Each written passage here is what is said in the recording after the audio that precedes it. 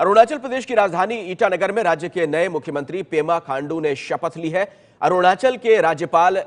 ने उन्हें पद और गोपनीयता की शपथ दिलाई। ईटानगर में शपथ ग्रहण समारोह में सीधे आपको लिए चलते हैं। कुछ देर पहले की ये तस्वीर हम आपको दिखा रहे हैं जब पेमा खांडू ने शपथ ली मुख्यमंत्री पद की।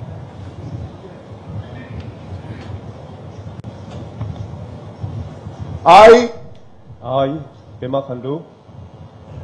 do swear in the name of God that I will bear true faith and allegiance to the Constitution of India as by law established, that I will uphold the sovereignty and integrity of India, that I will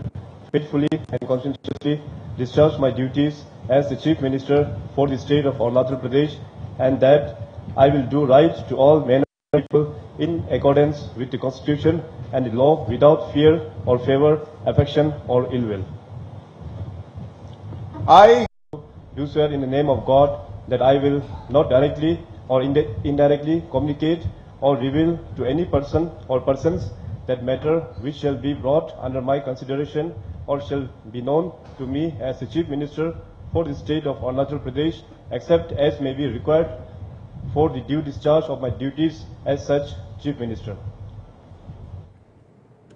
और भारत के सबसे युवा मुख्यमंत्री हो चुके हैं खांडू